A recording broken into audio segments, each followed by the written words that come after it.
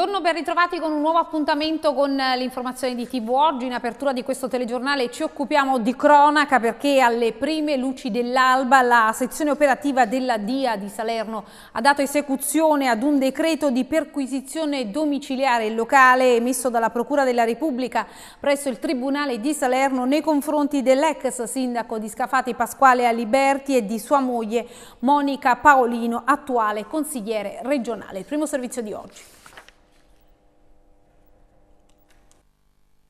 La sezione operativa della Direzione Investigativa Antimafia di Salerno nuovamente all'assalto. Questa mattina alle prime ore dell'alba gli uomini della DIA hanno dato esecuzione ad un decreto di perquisizione domiciliare locale emesso dalla Procura della Repubblica di Salerno nei confronti dell'ex sindaco di Scafati Pasquale Liberti e della moglie Monica Paolino, consigliere regionale di Forza Italia.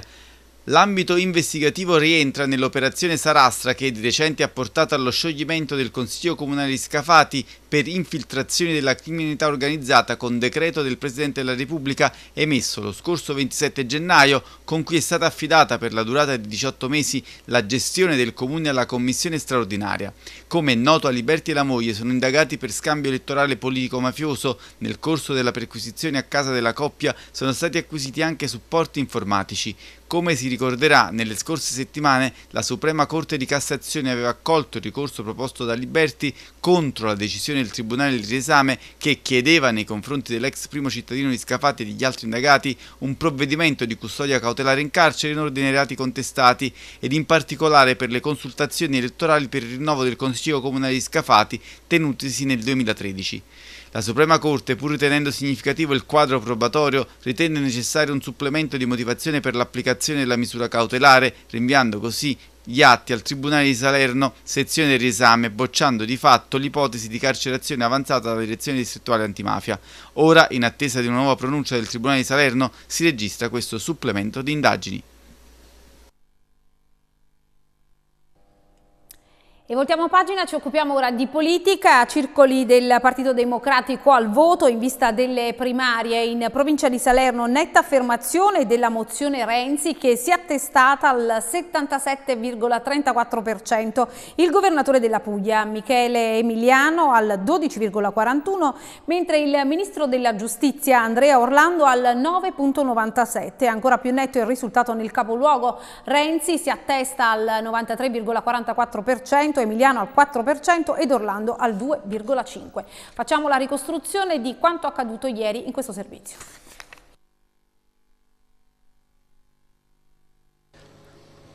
È guerra di cifre dentro il Partito Democratico, balla soprattutto il dato dell'affluenza alle votazioni dei circoli e di conseguenza le percentuali cambiano a seconda della fonte di riferimento. L'ex premier Matteo Renzi, stando alla sua mozione, sarebbe vicino al 70%, staccando nettamente il ministro della giustizia Andrea Orlando che avrebbe il 25% e Michele Emiliano al quale viene attribuito un risultato intorno al 6,5% dati che pur mantenendo inalterati classifica e distacchi rispetto alle previsioni della vigilia sono stati contestati dalle altre due mozioni. Secondo l'organizzazione del Partito Democratico, con i dati raccolti dall'organizzazione, ovvero circa 4.000 circoli, le tre mozioni hanno ottenuto rispettivamente Matteo Renzi il 68,22%, Andrea Orlando il 25,42%, Michele Emiliano il 6,36%. Una parola fine, l'organizzazione DEM prova anche a metterla sull'affluenza, altro terreno di scontro tra i tre aspiranti candidati alle primarie. L'affluenza al voto degli iscritti al partito per i congressi scrutinati, annuncia il PD, è compresa tra 235.000 e 250.000 persone numeri in netto contrasto con i dati che i comitati di Emiliano ed Orlando hanno snocciolato. Secondo Orlando lui si attesta al 29,6%, Renzi al 62,4% e Emiliano all'8%, mentre il governatore della Puglia si dice convinto di aver superato ragionevolmente la fatidica soglia del 5% che gli consentirebbe di prendere parte alle primarie vere e proprie, puntando poi la sua attenzione sulla scarsa partecipazione. Dal generale al particolare, in provincia di Salerno, così come in tutta la Campania, la mozione Renzi ha sbancato toccando picchi di poco inferiori all'80% nel comune capoluogo, ma attestandosi in generale, sempre in provincia, intorno al 75%, lasciando le briciole ad Emiliano, trascinato dal deputato Simone Valiante, e al guardia sigilli Orlando.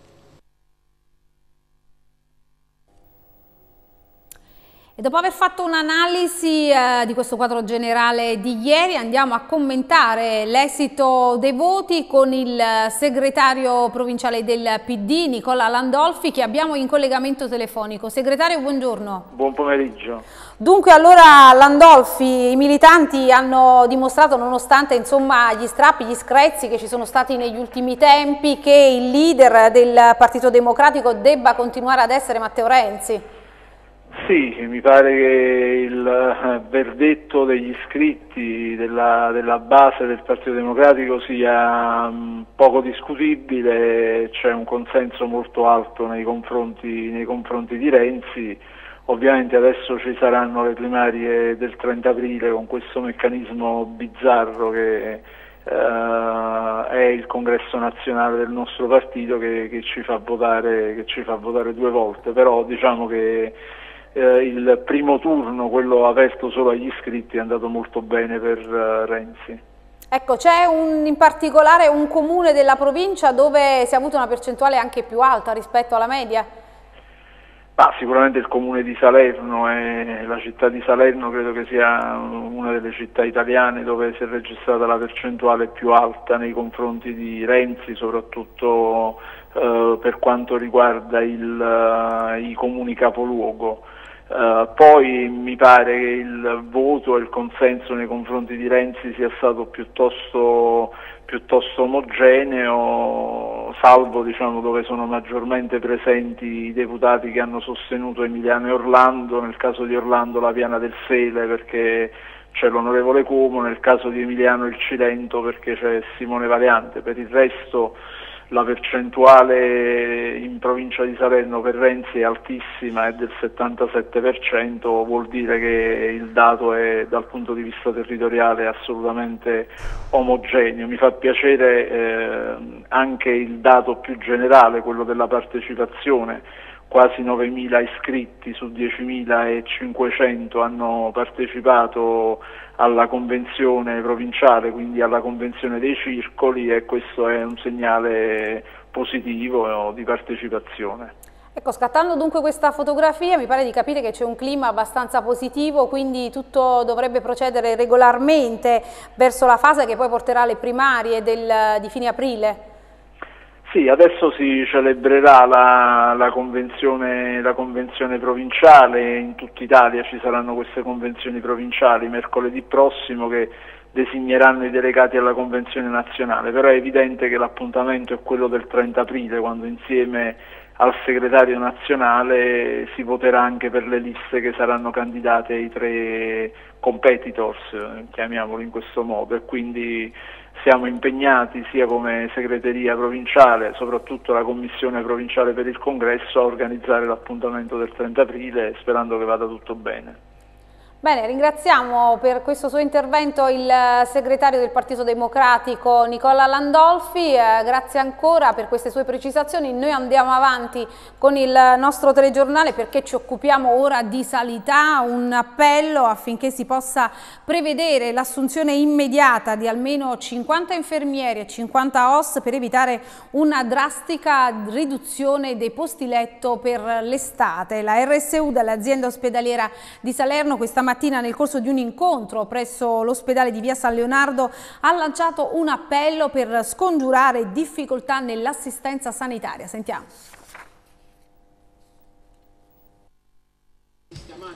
La stagione estiva è ormai alle porte, ma non si profila alcuna soluzione per integrare il personale dell'azienda ospedaliera di Salerno che già oggi lavora in condizioni di affanno. Lo hanno sottolineato questa mattina i rappresentanti sindacali del Ruggi di Salerno nel corso di una conferenza stampa, presentando allo stesso tempo una lettera aperta al governatore della Campania, ai consiglieri regionali, al presidente della quinta commissione, al sindaco di Salerno e al presidente della conferenza dei sindaci. Un appello affinché si possa prevedere l'assunzione immediata di almeno 50 infermieri e 50 OS per evitare una drastica riduzione dei posti letto per l'estate. Noi abbiamo indetto la conferenza stampa stamattina dopo aver atteso gli sviluppi eh, per l'applicazione dell'atto aziendale regolarmente deliberato a livello regionale. Quello che stiamo vedendo e che ci sta facendo estremamente preoccupare è che dopo l'adozione dell'atto aziendale pare che niente sia cambiato, non solo, ma che le cose stiano addirittura peggiorando. L'azienda ospedaliera universitaria Ruggi d'Aragona con, eh, con, altri quattro presidi annessi, quindi sono cinque presidi, è un'azienda di nuova istituzione, come dice la parte regionale, con un nuovo protocollo con l'università, ma che parte gravata da debiti degli anni precedenti. Noi dovremmo restituire alla Regione Campania 38 milioni di euro in tre anni, nonostante i risultati di efficacia e di efficienza raggiunti dal 2015 in poi e dobbiamo, non abbiamo la possibilità di assumere il personale sia necessario per l'attività ospedaliera sia necessario per le attività universitarie. Non solo, ma la carenza estrema di alcune figure, in particolare operatori sociosanitari, figure fondamentali di supporto e di infermieri, ci mette nelle condizioni per quest'estate, se non si fanno interventi immediati di reclutamento, nelle condizioni di chiudere almeno 200 posti letto, con quello che questo significa per, un, per dei pronto soccorsi già oberati. Vogliamo ricordare alla cittadinanza che nel pronto soccorso del Ruggi noi facciamo circa 350 accessi al giorno e questo con la chiusura di posti letto significherebbe arrivare a 500 posti, accessi al giorno senza avere la possibilità di avere posti letto dove ricoverarli e quindi già i pazienti rimangono a pronto soccorso 24-48 ore e anche tre giorni alcune volte per mancanza di posti letto. Ecco, Sign voi avete eh, lanciato questo allarme alla cittadinanza, sono dati però che ovviamente il direttore generale Cantone conosce conosce bene, che cosa potrebbe fare? Il direttore generale potrebbe assumersi una responsabilità personale nell'assunzione almeno di 50 OSS e 50 infermieri, visto che abbiamo fatto eh, tutte le procedure, teniamo i, le graduatorie degli avvisi a tempo determinato, teniamo le graduatorie delle mobilità interregionali, sia per infermieri che per OSS e anche per altre figure, ma chiediamo soprattutto alla Regione Campania, quindi al subcommissario che è rimasto o al nuovo commissario se verrà deciso, al governatore della regione Campania di autorizzare l'assunzione del personale necessario a mettere in condizione questa azienda di funzionare e di evitare ai cittadini di Salerno più disagi rispetto a quelli che già tengono. Non solo, chiediamo la cancellazione dei debiti oppure che vengano gestiti in maniera diversa, che non gravino su questa azienda e che i presidi annessi che noi abbiamo preso, che ci sono stati dati, vengano trattati con dignità nell'ambito delle funzioni che hanno e ci riferiamo a Castiglione, ci riferiamo ad approcci dall'unica riabilitazione pubblica e ci riferiamo al mercato San Severino. E la situazione non migliora in Costiera Malfitana dopo il declassamento del presidio di Castiglione di Ravello in un punto di primo soccorso. Per giovedì pomeriggio è stata organizzata una manifestazione di protesta in piazza ad Amalfi. Una manifestazione di protesta per contestare il provvedimento adottato dalla direzione sanitaria aziendale dell'ospedale Ruggi d'Aragona di Salerno che ha trasformato dal 1 aprile il presidio di Castiglione di Ravello in un punto di primo soccorso non più in grado di garantire le prestazioni 24 ore su 24 per carenza di personale. È stata programmata per giovedì 6 aprile alle 16.30 nella piazza municipio ad Amalfi. Stiamo assistendo al declassamento di quel poco che abbiamo conquistato negli anni. Così Andrea Cretella, presidente del comitato comitato locale del Tribunale del Malato in merito al depotenziamento della cardiologia e della radiologia dell'ospedale Costa d'Amalfi che dal 1 aprile scorso a causa della mancanza di personale garantirà durante le ore notturne soltanto tramite la trasmissione telematica dei dati dei pazienti alla centrale operativa dell'ospedale Ruggi d'Aragona, una sostituzione tecnologica delle mansioni del cardiologo di guardia che non convince gli abitanti della costiera. In realtà siamo ritornati 30 anni indietro, quando in costiera amalfitana non c'era l'emergenza sanitaria e quindi abbiamo vissuto oh, momenti terrificanti con uh, la perdita di tante persone che si poteva evitare. E poi abbiamo, oh, cioè, dobbiamo dire grazie all'ex governatore Bassolino che ci ha dato quella struttura, una struttura efficientissima per far fronte ai problemi dell'emergenza sanitaria in costiera malfitana.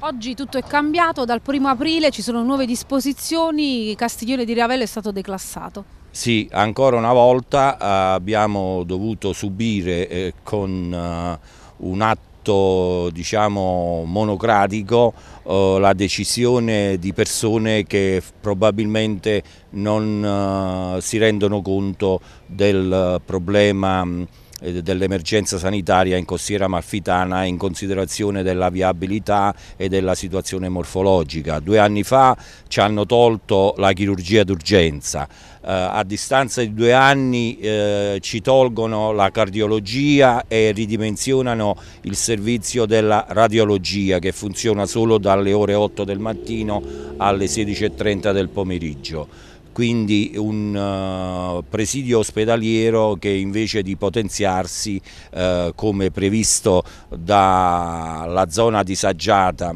riconosciuta tempo fa con atto deliberativo regionale, invece di potenziare viene depotenziato. Oggi quali sono le prestazioni offerte? Eh, le prestazioni offerte sono semplicemente pari a una medicheria, eh, non più pronto soccorso, eh, dove praticamente ci sono le figure principali per far fronte a un'emergenza sanitaria. E a proposito di sanità, al via la campagna di prevenzione dedicata alla salute maschile, promossa dalla CNA di Salerno e dalla sezione provinciale della LILT, con il patrocinio del Comune di Salerno. Da oggi per l'intero mese di giugno parte infatti Prevenzione con i baffi, dai un taglio alla paura, l'iniziativa per sensibilizzare gli uomini sull'importanza della prevenzione che vedrà come portavoce i barbieri e i parrucchieri per uomo associati alla CNA di Salerno. Sentiamo. Un percorso azzurro tutto al maschile per monitorare la salute degli uomini e la campagna di prevenzione dedicata promossa dalla CNA di Salerno e dalla sezione provinciale della LILT con il patrocinio del comune di Salerno. Da oggi per l'intero mese di giugno parte infatti Prevenzione con i baffi, dai un taglio alla paura, l'iniziativa per sensibilizzare gli uomini sull'importanza della prevenzione che vedrà come portavoce i barbieri e parrucchieri per uomo associati alla CNA di Salerno. Saranno loro infatti a somministrare ai propri clienti il questionario formulato dalla LILT, attraverso il quale, rispondendo a 15 semplici domande, verrà stabilito se c'è o meno bisogno di una visita specialistica. Ad effettuarla saranno i medici della LILT che già dal pomeriggio di oggi, presso la sede provinciale della CNA, trasformata per l'occasione in un attrezzato ambulatorio, si metteranno al lavoro in base ai risultati emersi dai primi test. Stamani a Palazzo di Città la presentazione dell'iniziativa che ha visto la partecipazione del presidente CNA di Salerno Sergio Casola, per la Lega Italiana per la lotta contro i tumori, la sezione provinciale di Salerno, il presidente Giuseppe Pistolese e l'urologo della LILT Antonio Brando un progetto semplice, io lo definisco semplice ma straordinario perché per la prima volta eh, nel mondo delle imprese si ragiona di prevenzione in modo fattivo, cioè gli artigiani che diventano eh, testimonial di questa prevenzione e questo ci riempie di gioia perché in un periodo in cui si parla di eh, periodo poco felice si pensa poco a se stessi, si pensa all'impresa, si pensa ai problemi che ci sono e si tralascia quello che poi è, il, eh, è la base primaria della vita, cioè la, stare bene, stare bene con se stesso ma proprio fisicamente stare bene. Le recenti indagini ci dicono che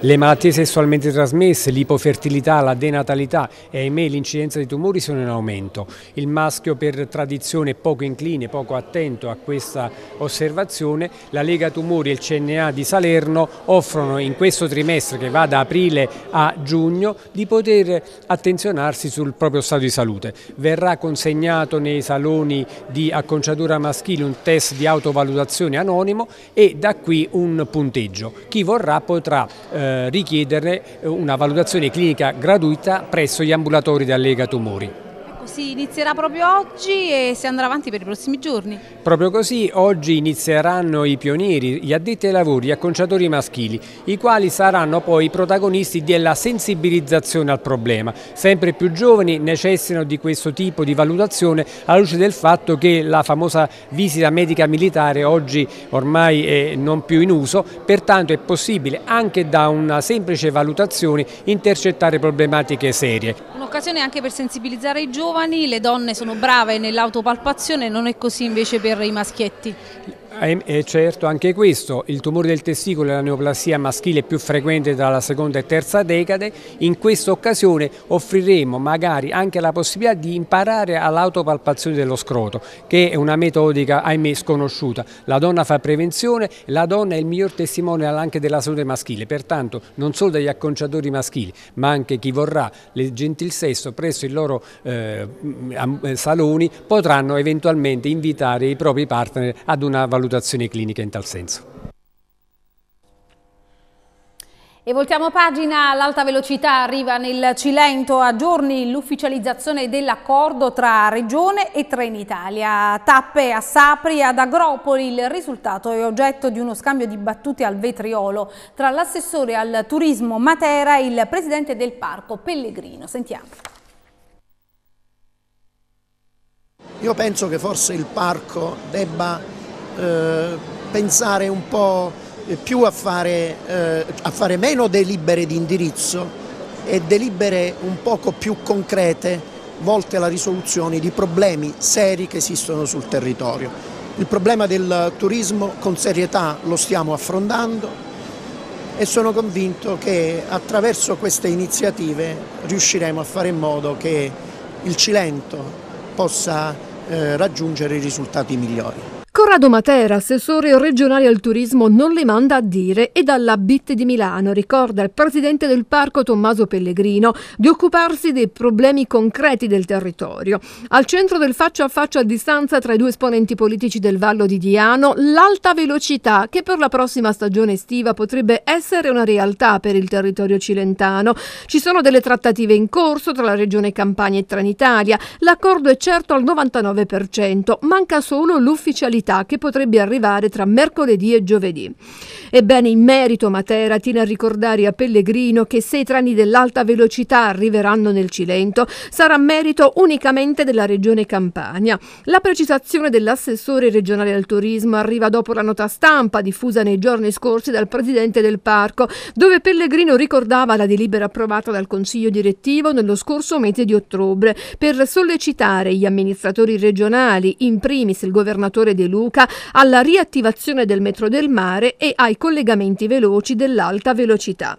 Ho letto un, qualche eh, giorno fa una eh, dichiarazione anche del presidente del parco che diceva, eh, cioè, assumeva una posizione quasi come se eh, l'iniziativa fosse partita da lui, ma su questo argomento le posso dire che sto lavorando insieme alla Giunta De Luca, sto lavorando dal 2016 Sull'accordo con Trenitalia Matera non si sbilancia, ma dalla BIT di Milano tiene a ribadire che...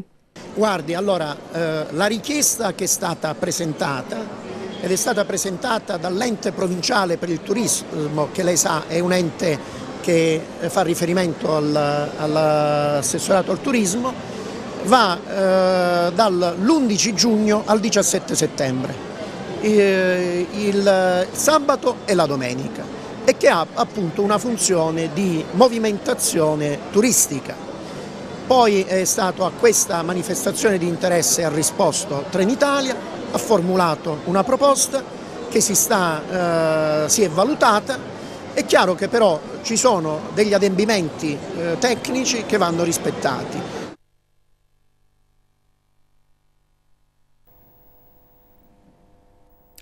Da sud a nord della provincia di Salerno ci spostiamo ora a Cava dei Tirreni dove già alle 7 di questa mattina gli operai della ditta incaricata dalla Procura della Repubblica sono al lavoro per procedere alla demolizione dell'immobile di via Contrapone in località Pioppi.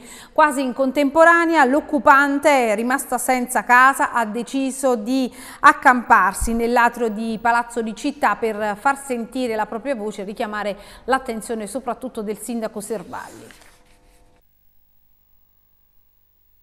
Già alle 7 di stamane gli operai della ditta incaricata dalla Procura della Repubblica sono al lavoro per procedere alla demolizione dell'immobile di via Contrapone in località Piuppi. In queste ore si sta andando avanti con la rimozione di alcune parti dell'immobile. Difatti restano in piedi soltanto le mura esterne dell'edificio già acquisito al patrimonio comunale e dichiarato di prevalente interesse pubblico dal comune metelliano per destinarlo a finalità di housing sociale. A nulla però sono valsi numerosi tentativi del comune di salvare l'immobile dall'abbattimento. La Procura della Repubblica è stata inflessibile, nonostante è stata già fissata per il prossimo 11 aprile la discussione dell'incidente di esecuzione chiesto dal Comune dinanzi alla Corte di Appello di Salerno per cercare di scongiurarne la demolizione. Intanto stamane la signora Pina Fariello, rimasta senza casa, ha deciso di accamparsi nell'atrio del Palazzo di Città per far sentire la propria voce. La casa è una casa comunale eh, dove io dovevo pagare 10.000 euro uh, di arretrati dal 2014 e in più dovevo pagare circa 300 euro di fitto al mese. Era una casa di, uh, acquisita al, al, patrimonio comunale, non di Pina Farielli. In questo momento la procura si è messo contro il sindaco. La mia protesta oramai la casa sta a terra, non, non, è più recuperabile, però la mia protesta è che la procura, il comune eh, conoscono benissimo le case abusive che ci stanno, eh, devono abbattere dalla prima all'ultima casa, eh, non è giusto che c'è gente che ha costruito e vive tranquillo, sereno, eh, anche dipendenti comunali, eh, vigili, polizia, ispettori che sono venuti a casa a fare i prepotenti avendo case abusive a questo punto eh, quello che io voglio è che Cava dei Tirreni venga rasa al suolo, sono 2500 case abusive e non è che se ne fa una alla volta, avnesse caruspe, avnesse chitta tutta Cava dei Tirreni a terra. E voglio dire ai cittadini che non stanno venendo, il comune deve pagare l'abbattimento, verranno tassate di altre tasse, non se ne stessero dentro perché il comune le tasse le mette ai cittadini. Sembra aprirsi una nuova stagione difficile sul fronte abbattimenti nella città metelliana, dove sono centinaia le case sulle quali incombe l'incubo della demolizione. In questa guerra aperta tra il comune e la procura, che contesta le delibere con le quali il consiglio comunale destina a finalità di housing sociale questi immobili abusivi, nuovi sviluppi potrebbero riguardare anche altre situazioni. Bene, ed ora è il momento di dare spazio alla regia per la pubblicità. Continueremo a sfogliare insieme il nostro telegiornale. A tra poco. Ed andiamo avanti con il nostro telegiornale Gabbani, super ospite della ventunesima edizione del Meeting del Mare, l'evento che ogni anno propone concerti gratuiti per i giovani cilentani. Con il vincitore del Festival di Sanremo c'è una trattativa in corso, ad annunciarlo è il direttore artistico Don Gianni Citro. Tra gli altri nomi spicca anche quello di Fabrizio Moro ed Enzo Avitabile. Sentiamo, ce ne parla il nostro corrispondente. A, a cerca, sì, cerca sì, storie dal gran finale, spera, sì, spera, sì. Potrebbe essere Gabbani, il super ospite della ventunesima edizione del Meeting del Mare. Con il vincitore del Festival di Sanremo c'è una trattativa in corso.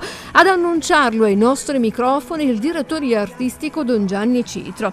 Ieri mattina presso il Cineteatro Ferrari di Sapri si è svolta la conferenza stampa di presentazione dell'evento, durante la quale il parroco, organizzatore della Kermesse, ha svelato i primi ospiti dell'appuntamento che si svolgerà quest'anno tra Sapri e Marina di Camerota. Camerota.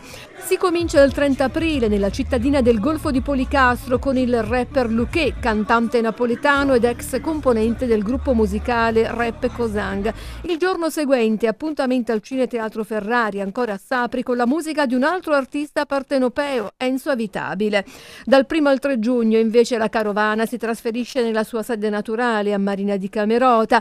Tra i nomi dei cantanti, quelli che si esibiranno in queste date, anche quello di Fabrizio Moro. A fine luglio, dal 28 al 30 luglio, la chiusura della Kermesse nuovamente a Sapri. Super ospite dell'ultima serata potrebbe essere proprio Gabbani.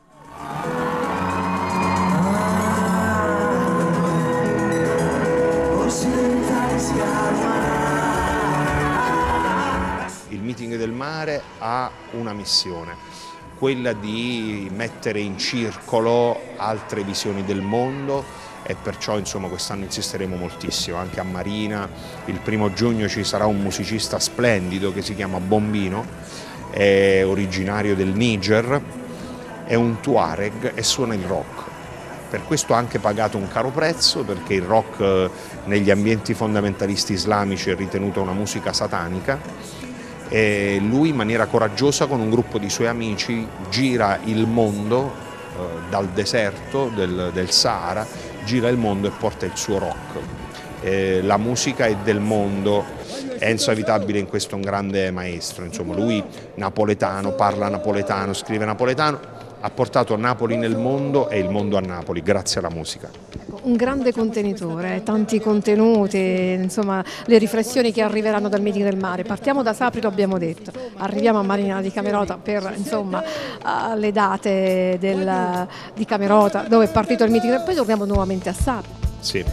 sì, dopo gli eventi di Camerota, insomma, i nomi in programma usciranno a giorni. Le chiediamo anticipazione. Sì, sì, probabilmente ci sarà anche Fabrizio Moro, ci sarà lo scrittore Harry De Luca con il canzoniere grecanico Salentino, insomma ci saranno delle cose interessanti. E a Sapri ma c'è una trattativa aperta con Gabbani, e, con altri insomma, però al momento preferisco non dire. Così insomma mi sono confidato con la televisione ma non, ancora non c'è niente di definitivo. che abbiamo fatto ad, ad alta voce. Le posso fare questa domanda? È maturato il meeting, sta maturando il meeting, la formula è invariata rispetto al primo anno, al di là delle tappe insomma in altre piazze del Cilento, ma sta maturando, è maturato. Ma il meeting sta diventando un adulto, è a 21 anni insomma, sta diventando un adulto e eh, ogni tanto mi arrivano notizie da parte di persone, insomma il meeting era meglio prima e io penso a volte che sono loro che sono diventati più vecchi, insomma. E, no, il meeting sta maturando in, in, molti sensi, soprattutto sta mettendo radici sempre più profonde nel territorio, con, sta entrando sempre più in confidenza con le comunità e quindi è un evento che appartiene sempre di più alla gente. Grazie. È stata invece già definita una tratta stradale di golosità via Pietro del Pezzo nel popoloso quartiere a Salerno dove ieri sera celebrando i 50 anni di attività della pasticceria svizzera la famiglia Cuofano ha inaugurato un nuovo showroom cake, il Candy Shop, un ingrosso e dettaglio tutto dedicato ai prodotti di qualità per pasticcerie e cake design. 50 anni di passione, dolci e torte, un anniversario significativo per la famosa pasticceria svizzera di via Pietro del Pezzo di Don Mimì Cuofano che nel compiere i primi 50 anni ha tagliato ieri un nastro speciale per celebrare due generazioni. A pochi passi dalla pasticceria in via Pietro del Pezzo al Civico 33 un nuovo showroom cake Candy Shop, un ingrosso e dettaglio tutto dedicato ai prodotti di qualità per pasticceria e cake design, un nuovo spazio tutto dedicato agli amatori del settore della pasticceria che vogliono dilettarsi nell'arte del cake design e modelling. Ieri sera il taglio del nastro alla presenza di tantissime persone che hanno voluto condividere l'anniversario di mezzo secolo. Una storia iniziata per Don Mimì Cuofono fin da adolescente in pasticceria, poi la partenza per la Svizzera per lavorare in un hotel realizzando prima il pane e poi i dolci, 50 anni di permanenza per mettere insieme un po' di soldi con il sogno di rientrare in Italia. Un anniversario significativo per nostro padre, hanno dichiarato i fratelli Rosaria Marianna, Carlo e Daniela Cuofano. Una passione, la sua, che non tramonta come la nostra, pronti oggi ad affiancarci in una nuova esperienza lavorativa. Punto di riferimento del quartiere Torrione grazie anche alle innovazioni proposte negli anni, dai dolci tipici svizzeri alle paste della domenica, arrivando oggi alle originali torte semifreddo, con il punto vendita Candy Shop, tutto dedicato alle decorazioni. A quanti vogliono mettersi in gioco con le mani in pasta, si potrà trovare tutto ciò che occorre per realizzare torte e dolci vari. Qui si trova tutto quello che occorre per le torte, eh, per, eh, per, gli appassionati insomma, della pasticceria, per gli esperti del settore, possono trovare eh, prodotti per, per torte, per dolci sia ad ingrosso che a dettaglio. Ecco, un nuovo posto soprattutto per le signore che amano fare i dolci in casa, per preparare i dolci per le feste, si troveranno tante decorazioni, ma ci sarà anche la possibilità di imparare il cake design. Sì, daremo la possibilità di fare, di, faremo dei corsi, organizzeremo dei corsi, eh, quindi eh, c'è la possibilità di, per, per, appunto per appassionati di, del settore di, di, esprimersi sia con il cake design e poi magari organizzeremo anche proprio dei corsi per, di pasticceria, insomma sicuramente faremo anche questo proprio con le mani in pasta. Un nuovo centro dove acquistare prodotti di qualità, non mancheranno i cioccolatini ovviamente ovviamente tutti di produzione della Svizzera, rigorosamente artigianali. Sì, ci sono i nostri cioccolatini artigianali, ehm, avremo dei fondenti, fondenti monorigine, eh, uova decorate adesso per il periodo pasquale, soggetti pasquali, uova nocciolate, uova al pistacchio, uova mandorlate al pistacchio, al gianduia, cioccolato bianco, insomma c'è da scegliere.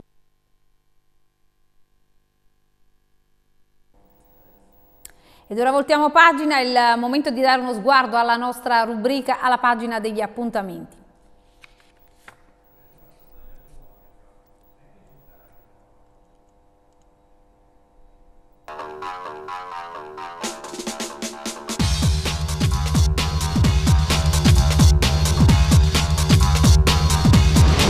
Va bene, ora ti darò un bacetto, ma non farti illusioni. Cineforum al Cinema Teatro San Demetrio di Via Dalmazia a Salerno dove quest'oggi è in programma il film di Martin Scorsese Silence, tre gli spettacoli alle ore 16, alle 19 e alle 22.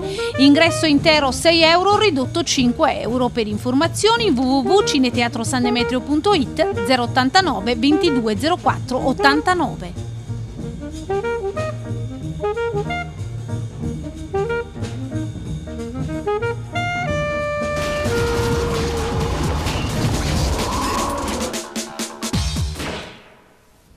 Andiamo, ti divertirai, te lo prometto. La Salernitana ha conquistato dunque a Pisa la quarta vittoria consecutiva, ma ne parliamo tra poco, subito dopo la pubblicità, guardando insieme anche prima le previsioni del tempo. Ne parliamo nel corso della pagina dello sport, a tra poco.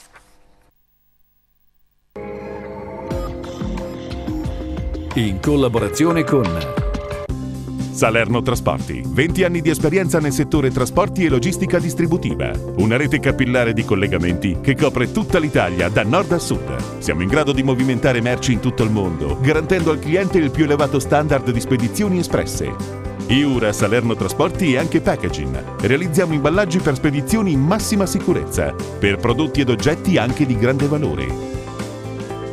A Salerno in via Venner Zona Industriale, salernotrasporti.it nel pomeriggio, sulle coste, nubi irregolari con acquazzoni intermittenti. In montagna, molte nubi con deboli piogge. Previsioni per domani. Al mattino, sulle coste, bel tempo, con cieli quasi sereni. In montagna, molte nubi con deboli piogge intermittenti. Nel pomeriggio, sulle coste, nubi e schiarite con possibili piovaschi. In montagna, nubi irregolari con acquazzoni intermittenti. Previsioni del tempo, fornite da 3B Meteo. E siamo dunque alla pagina dello sport, ci occupiamo di calcio, la Salernitana ha conquistato a Pisa la quarta vittoria consecutiva, riuscendo per la prima volta nella sua storia ad espugnare il campo dei nero-azzurri toscani. Decisivo Rosina, entrato nella ripresa, granata a due punti dai playoff a nove gare dalla fine. Sentiamo.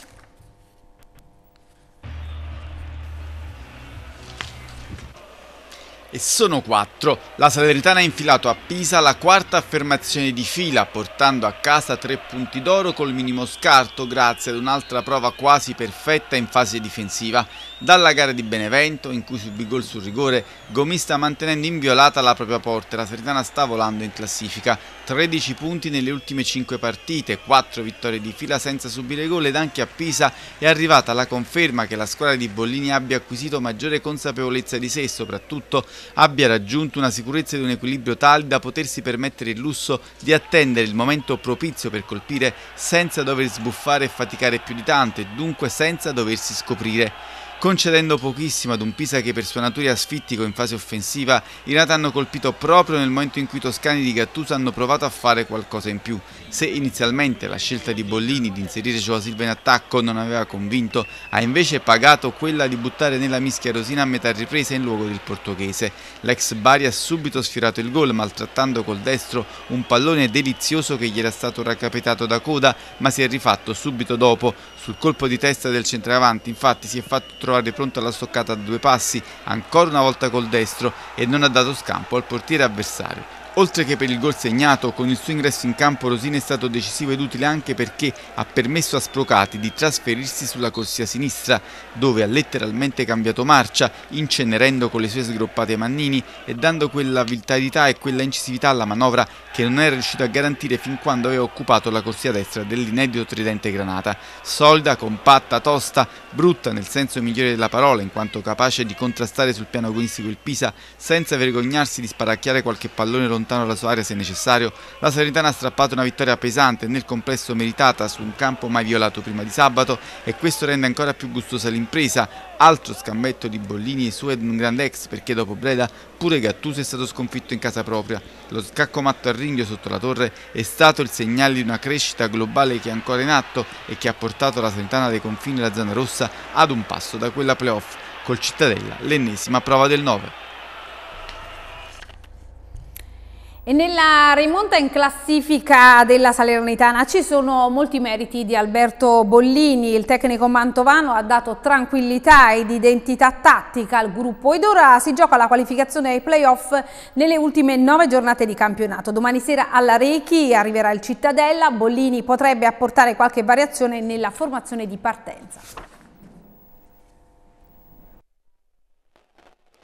Sannino li aveva abbracciati e portati sotto la curva sud della Rechi. Lui li ha battuti a domicilio. Alberto Bollini ha guidato la Seretana a due pesanti affermazioni esterne contro l'Entella di Breda ed il Pisa di Gattuso che hanno permesso ai Granata di calare un poker di successi sul tavolo di un campionato che, dopo la sconfitta interna con la SPAL, sembrava dovesse riservare altre delusioni e sofferenze che, dopo le ultime 5 gare in cui hanno conquistato 13 punti, li vede in piena corsa per i playoff. In apparenza quella della Sanità è una vera e propria metamorfosi perché i numeri e le prestazioni delle ultime 5 giornate indurrebbero a pensarla così. Come sempre però la verità sta nel mezzo e dunque la versione più plausibile per spiegare la rinascita primaverile di una squadra che reduce da un inverno grigio con pochi isolati bagliori potrebbe essere questa. La Salernitana aveva intrapreso con Bollini un percorso nuovo quanto lungo e difficile perché doveva scrollarsi di dosso ansie ed insicurezze della precedente gestione e perché il nuovo allenatore doveva avere il tempo necessario per capire ed anche per sbagliare perché è proprio dagli errori commessi in prima persona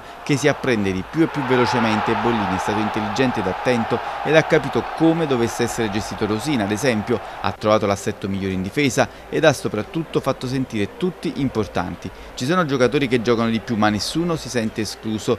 Zito, Tuia, Sprocati hanno atteso il loro momento ed hanno trovato spazio quando lo hanno meritato. Umiltà, sacrificio, spirito di gruppo. Così Bollini ha plasmato la Salernitana concepita in estate senza un progetto ben preciso, facendola diventare squadra e dunque capace di andare oltre i propri limiti e di sfruttare i suoi pregi. Ora i playoff sono ad un passo, ma come sempre, proprio quando il traguardo si avvicina c'è bisogno di dare ancora di più e al tempo stesso di mantenere la calma. Domani alla Recchia arriverà il Cittadella, forse l'avversario peggiore che potesse capitare non solo per i precedenti in cadetteria che non sono dei migliori, ma anche perché tra quelle che lottano per i playoff è la squadra che ha meno pressioni e può giocare con maggiore spensieratezza. Bollini potrebbe rinunciare a Perico e rimpiazzarlo con Bittante sull'otto destro difensivo, mentre in mediana Ronaldo dovrebbe riprendere posto in cabina di regia. In attacco code il punto fermo, Rosina cerca posto anche se un suo utilizzo part-time potrebbe essere più proficuo. In partenza il tridente potrebbe essere completato da Donnarumma e Sprocati. Tutti però potranno dare il loro apporto e lo farà anche il pubblico.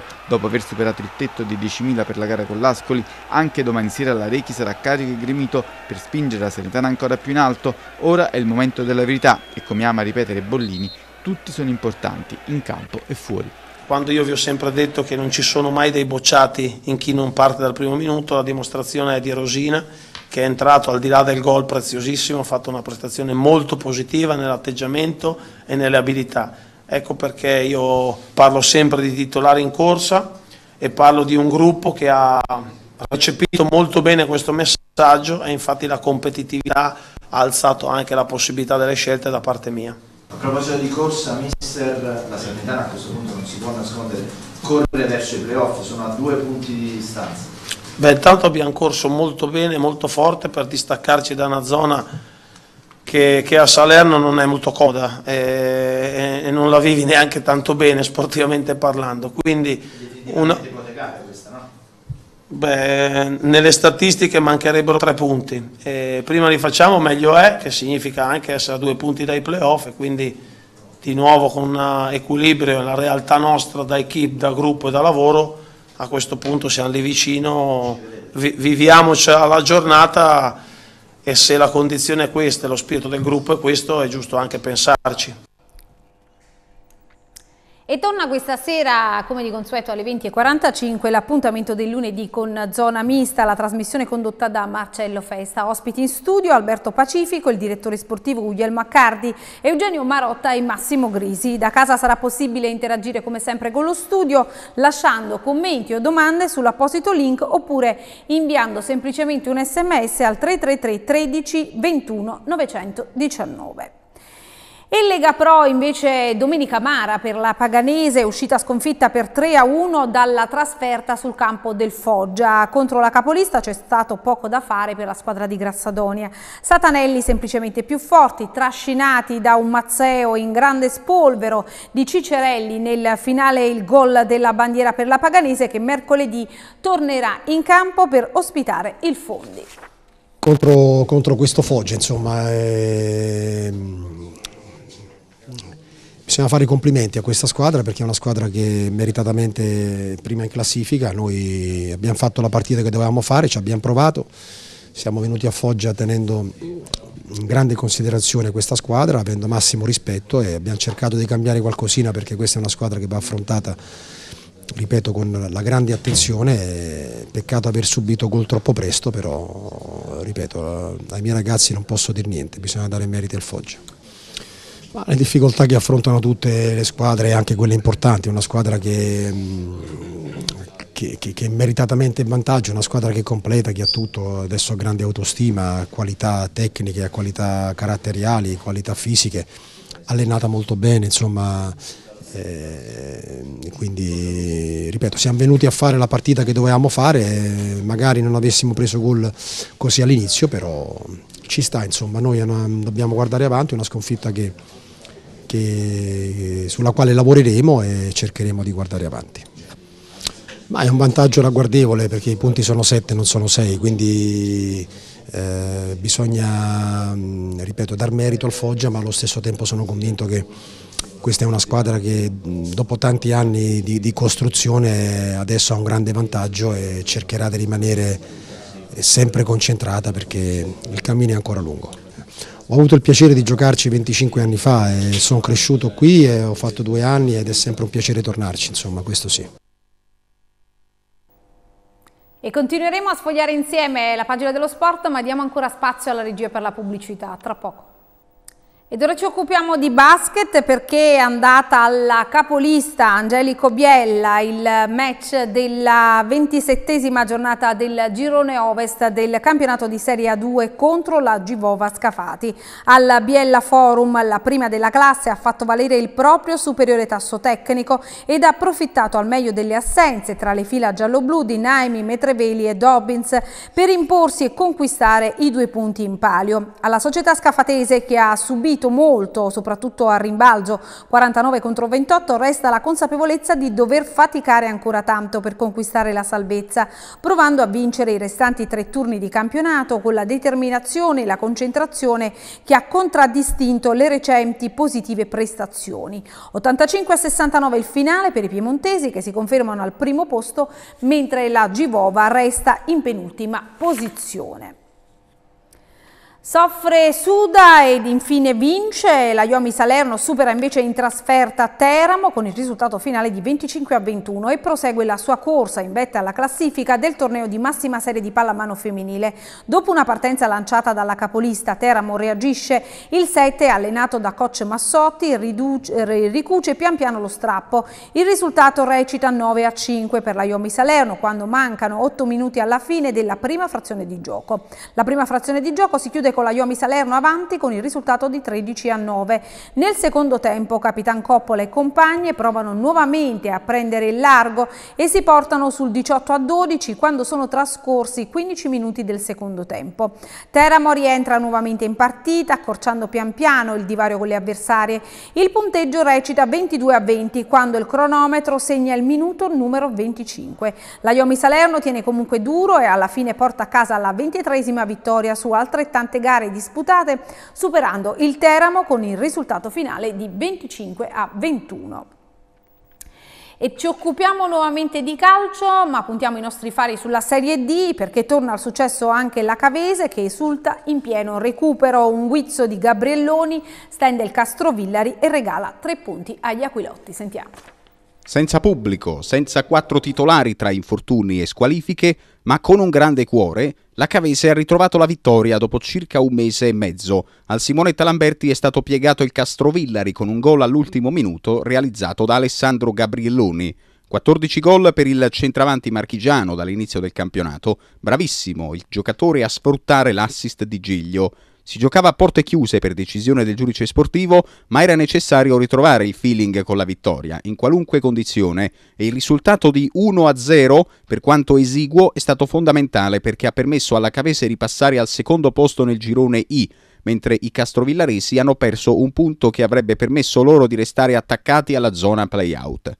Di Maria, l'allenatore dei Lupi del Pollino, schiera il Castrovillari inizialmente con un 3-4-3, con Molina, Feraco e Ragosta in attacco. Per la Cavese giocano Riccio e Galullo in difesa al posto di Parenti e Migliaccio, squalificati, come pure il centrocampista Ciarcià. In cabina di regia agisce Giannattasio per la prima volta titolare in campionato, al posto dell'infortunato Dideo. Arbitra il signor Stampatori della sezione AIA di Macerata. Nella fase iniziale della gara la Cavese appare tesa, del resto riscattare la sconfitta patita sette giorni prima a Frattamaggiore non è facile, ma qualche conclusione i metelliani riescono a provarla. Dopo due minuti di gioco va al tiro all'Eruzzo ma la palla è facilmente presa da De Brasi. Al dodicesimo Celiento riesce a ripartire su assist di Giannattasio, ma il suo tiro è deviato in angolo da un difensore castrovillarese. Pressano anche i calabresi, ma hanno meno qualità rispetto ai campani nel servire le punte, cosicché l'ultimo passaggio da parte dei rossoneri risulta spesso sbagliato. Al minuto 36 Rossi, uno dei più attivi della Cavese, si inserisce su passaggio riceliento, ma trova il salvataggio in angolo di Russo. Sugli sviluppi dello stesso corner è Padovano che va alla conclusione da distanza impressionante, ma De Brasi salva. Il tempo si chiude con un quasi autogol di Simonetti su tiro dalla bandierina di Rossi, la palla va sulla parte alta della traversa. Nella ripresa la Cavese gioca la carta della prima punta, Giuseppe Giglio che affianca Gabrielloni in avanti e proprio il centrattacco siciliano appena entrato si libera del marcatore ma finisce per calciare la palla oltre la traversa da buona posizione. I bianco-blu osano di più inserendo in campo Bellante e anche Felleca, però si espongono al contropiede calabrese. A un minuto dal novantesimo c'è superiorità numerica in attacco per il Castrovillari e Opoku si ritrova in area campana, ma sul nigeriano è bravissimo Felleca a recuperare la posizione. sembra debba finire 0-0, ma nel corso del quarto e ultimo minuto di recupero segna Alessandro Gabrielloni. Cross da lontano di Loreto, sponda di Giglio e sfondamento dell'attaccante marchigiano per l'1-0 che sa di liberazione. La Cavese vince e va al secondo posto, Castrovillari terzultimo. Bene, ed è tutto per questa edizione del nostro telegiornale. Io mi fermo qui, al momento non ci sono altri aggiornamenti, in ogni caso vi rimando all'edizione della sera delle 19.30. Buon proseguimento di giornata e grazie come sempre per averci scelto.